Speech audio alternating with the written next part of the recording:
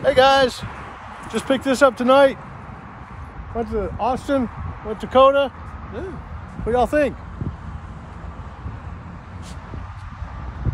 Get back here a little bit.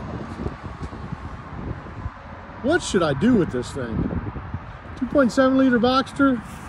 It's been a track car for a friend of mine. Finally made a deal on this months ago, just finally picked it up.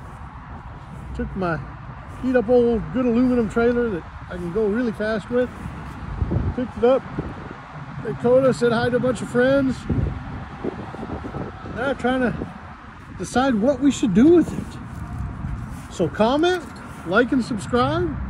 Tell us what y'all think. Gonna grab dinner real quick, quick coffee, and head back to the shop. Unload the car, figure out what we can do with it. I'm not sure. I got a couple ideas, but let me see what y'all think. Comment what you think. Like and subscribe, please. Keep us going. Keep us from having doing fun things with this car and many more. Talk to y'all soon. Bye.